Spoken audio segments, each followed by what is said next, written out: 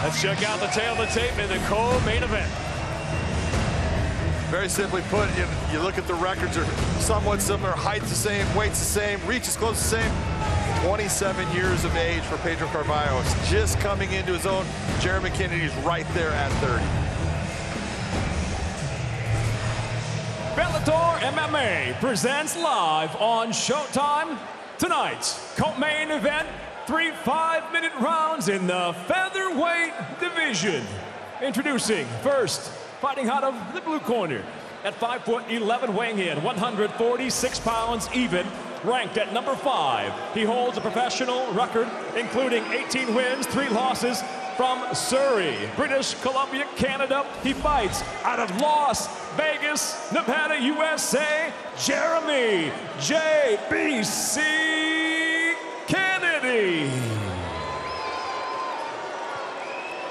And across the cage, his adversary fights out of the red corner at 5 foot 11, weighing in 145.4 pounds.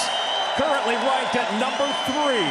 The former world title challenger brings 13 professional victories, six defeats. Originally from uh, Guimarães, Portugal, he fights now out of Dublin, Ireland. Introducing the game, Pedro Carvalho. In charge of the action, your referee, Keith Peterson.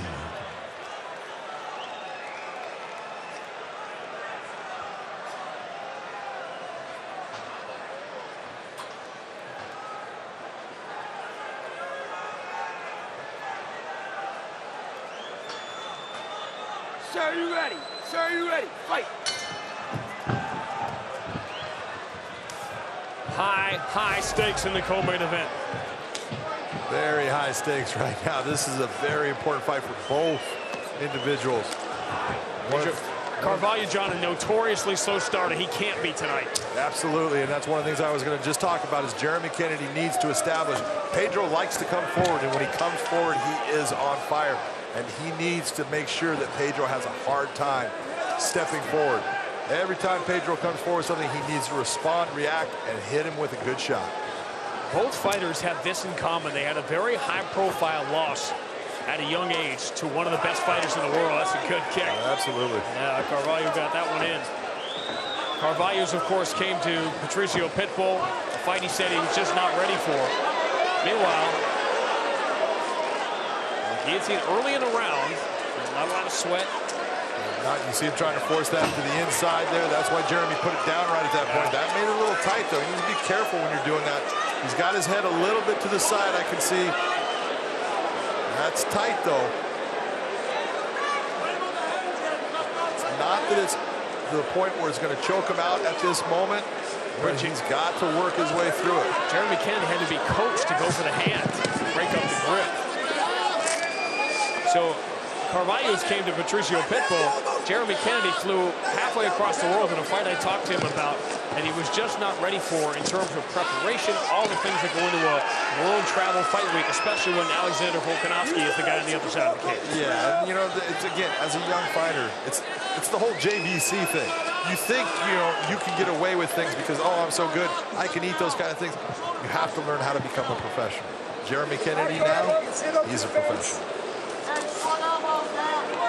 He's had a lot of these road games. Fought in Pico, California. He's fought in Brazil. Volkanovski's fight was in Australia. This right here is a very important moment for Pedro Carvalho because if Jeremy Kennedy can control Pedro at this time while he's dry but while he's fresh, the fight's only going to get worse for Pedro because Jeremy's going to feel confident. He's going to start coming forward more, looking for the takedowns and putting Pedro back on the mat. So he's got to work at getting himself either into that position of using the cage to get himself back to the feet or get a reversal here. He went for the guillotine. That made it for an easy takedown. It didn't work out. Now he's got to get himself out of this predicament. For Jeremy Kennedy. And there is Patricky checking in. We talked about his help, and he was the he was the Queally whisperer to Bryce Logan. leading up to that upset win we just saw.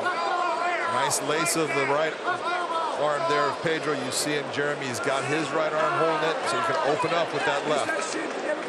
Two hands underneath his chin, lift up his head. Body of work for Jeremy Kennedy. The different levels of experience throughout the globe, fighting top fighters. Three and one in the UFC, three and one in Bellator, went down PFL for a while.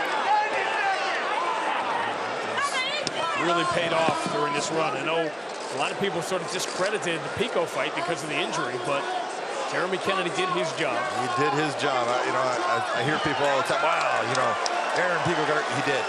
But Jeremy Kennedy didn't do anything wrong. In fact, he went and won that fight. And that's just the way fighting goes sometimes. Aaron Pico's going to be back.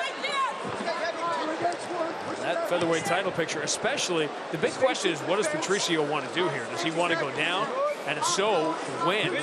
And is there another title fight at 145? And is this the title eliminator here we're talking about right now? That could be. You just don't know because Patricio has talked about going down and fighting Sergio Pettis for that 135-pound bantamweight strap. He wants to be the first fighter in Bellator history to own three different weight divisions.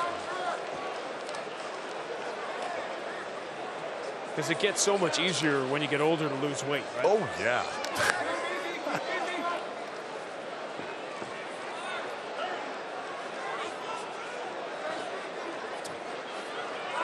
It's crazy to think of Patricio Pitbull legacy shopping when his legacy is pretty darn good as it is. And again, borderline dominance here on the ground, which is what we expected from Jeremy Kennedy. Jeremy Kennedy's had his way with this so far, so this is all looking good for Jeremy Kennedy right now.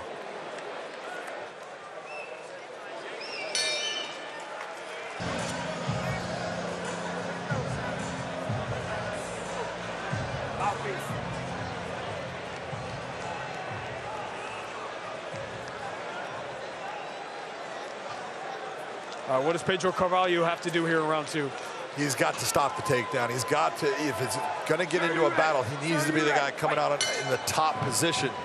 He is very good on the ground, but Jeremy Kennedy is outstanding there too. So in the stand-up, push Jeremy Kennedy back. When Jeremy is on his back foot, he doesn't throw. He starts to look and wait. So Pedro is normally a guy that puts a lot of pressure on his opponents. He's got to try to put that pressure on Jeremy right now. It's hard to argue he's not coming off the best performance of his career against Mads Burnell, but he hasn't been that guy to put a couple, two or three together.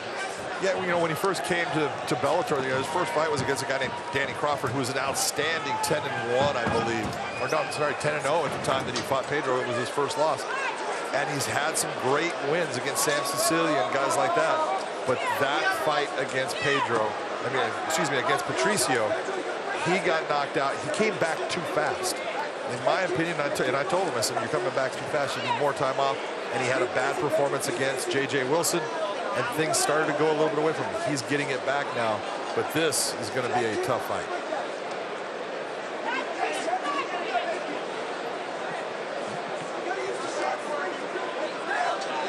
Step ahead. Keep those little shots going, Pedro. Right knee to the body. Jeremy Kennedy, British Columbian. Again, realizing we talked about this too, that he felt he had to get out of Canada to get to the higher level as part of the Volkanovski story that he thought he was fine training up there and he needed to upgrade. Again, these are a lot of the upgrades. This high-level wrestling now takes the back. Nice body lock takedown by Jeremy Kennedy. Triangles it up. And it is it has been that change. He's training at Extreme Couture. His coach Eric Nicksick loves him as a as a person that's always in the gym, always working hard. Now great nutrition, always staying in shape. And he's working out with guys like Patchy Mix yep. and all these other guys. So he's got some studs around him. Aljamain Sterling. Mads Burnell too, by the way, speaking of scouting yep. the guy that you're fighting.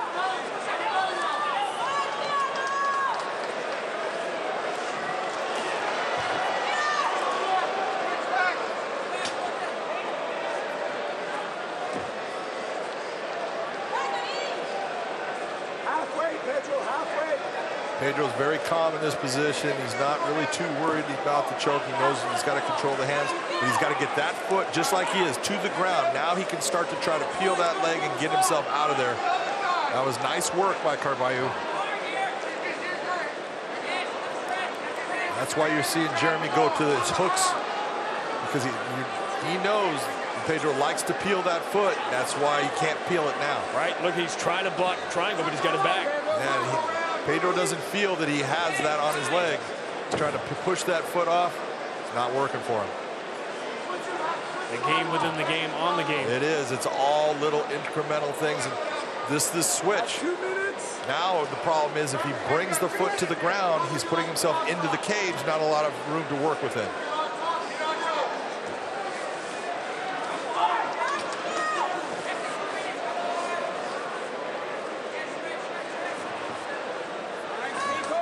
Really improved defense from Pedro Carvalho, but He's coming he out of this, though. He lost Nice the first. job. He lost the first round, and at some point, defense isn't going to help you. And this is one of those situations if you're Jeremy Kennedy and now you've been on the ground with him, you've gotten that figure four in his body, and you weren't able to even kind of attempt a good choke, then the next time you go there, it's time to start using strikes. I need to loosen him up, make him pay. Separate those hands. 60 seconds. Big pickup is coming. Let's work it out. Top hand. Kennedy just grinding and grinding and grinding. Now, he's, he's a couple of times he's put his head in a, not a great spot. There he pops it out. Push up the head. Pedro. See, this is a place now, Jeremy is very wise to all the attacks that Pedro can create, and he's just going to grind with his head, use his pressure to create problems for Pedro, and just try to use some strikes now, beat him up a little bit. Pedro's got to work at getting himself back to his feet. The knock on Pedro Carvalho over the years has been that he takes too many chances. And now he's put himself in a position where he's probably going to have to in round three. Absolutely.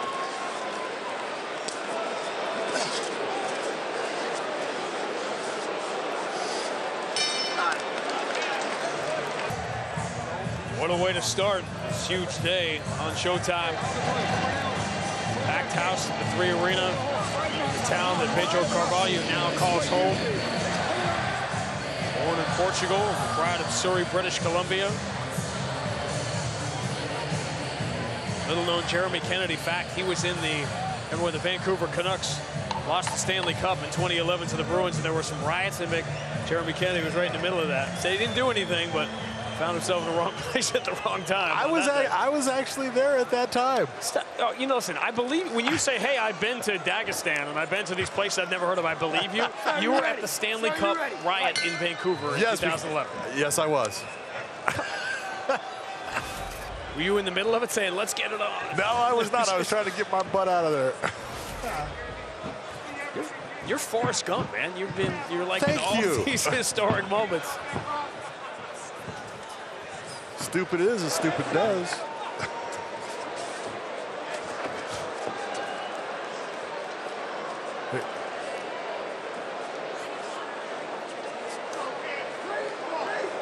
Nice job by Pedro here. He's got to really open up and start going for this. He can't get into a, just a slow grinding game. If he believes that he can take Jeremy down and move to good positions and do damage, great.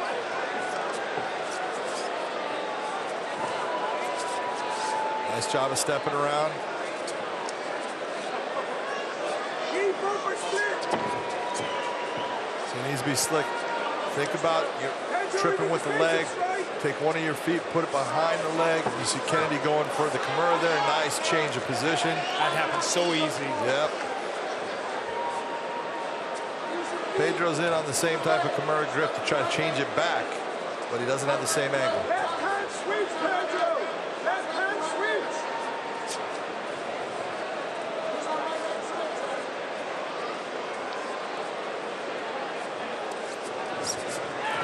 Too strong. And it really is that. Jeremy Kennedy is showing physically he is very strong, able to pick up Carvalho when he wants, elevate him, get his feet off of the floor, and bring him right down to where he wants. And this is where I was talking. The last time he was trying for chokes. Now you need to start opening up, Start using some strikes. Maybe that will open up the chin area and allow you to sink in that choke. Here they come. Pedro Carvalho holding on to those hands now. He's going for it.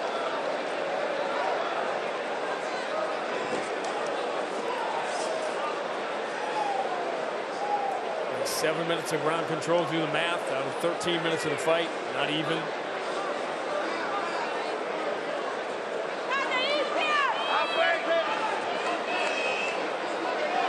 Hard to think of a moment where this was not going the way Jeremy Kennedy wanted to go.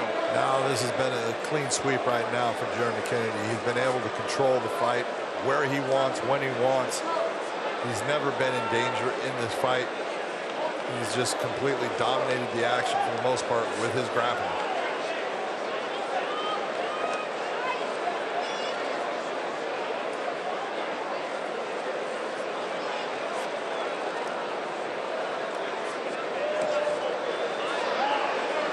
You forget about prospects explode on the scene at 22, 23. They have a high-profile loss, and then people tune away. And they forget that they're still getting better and better and better. And it took Jeremy Kennedy maybe a longer path and a lot of different stops, but he has become the fighter at age 30 that a lot of people thought he was going to be seven, eight years ago. Absolutely, and that's really, you know, the story of it is everyone, as soon as you, you lose, they give up on you. It's, oh, he's not that good. There are so many good fighters out here, and all it takes is time, time and effort to get them to the point where they are now competing, and they are so hard to beat. That's Jeremy Kennedy right now.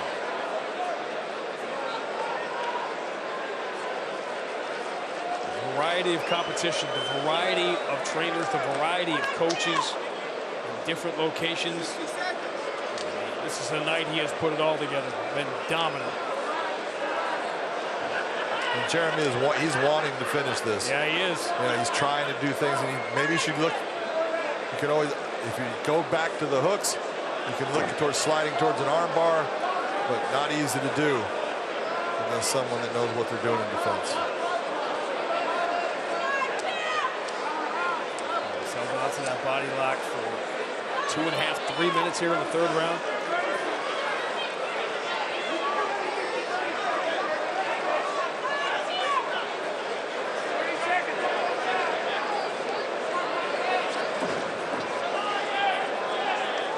Pedro trying to turn inside of that figure four. Unable to do it.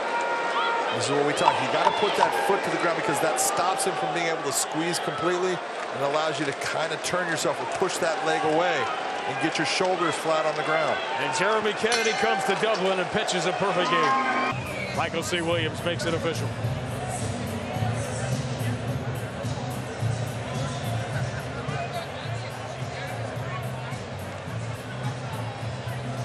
Ladies and gentlemen, having gone the distance, we'll go now to your three judges at cage side. Sal D'Amato, Ben Cartlidge, Brian Miner. All have it exactly the same at 30 to 27 for the winner by unanimous decision, Jeremy J.B.C. Kennedy. He's earned himself a junior bacon cheeseburger. Jeremy Kennedy, JBC, is with BJM. I'm, I'm here with Jeremy Kennedy. In fact, Sean Grande just said you just earned yourself a junior bacon cheeseburger. Ah, yeah. That was a dominant win against the number three ranked guy in the featherweight division. Where do you think this now puts you? Man, I'm, I, I believe I've been number one the whole time. And I think this just proves it, you know. I wanted to come on here and make a statement. And uh, I don't make excuses. All day, all week, I've been feeling kind of sh shitty, you know, crapping my guts out. But he's, he's a tough guy. He's a guy that you, he's going to be right in your face and active the whole time. And yeah, man, it's, it's a tiring style to fight, but uh, even on my worst day, I can 30-27 these guys, you know? So that's the statement I'm taking here is on my worst day fighting, I'm not happy with my performance, and that's the number three ranked guy, and I'm able to walk through and do that. I don't know where, where these, John, what are we gonna do about these rankings, man? I keep beating these guys that are way ranked higher than me. So uh, I expect to You know, you keep what you kill, you eat what you kill. So I'm at least number three now. So who is it you should be fighting? Pitbull, you know that's the, that's the fight. That's the only fight right now is that title fight. Pitbull, you better not be running down to 35. I'm the guy to fight. I'm the guy in this division. This is my division. I'm a dog walk a ball around this cage. Big win. Congratulations, Jeremy Kennedy, ladies and gentlemen.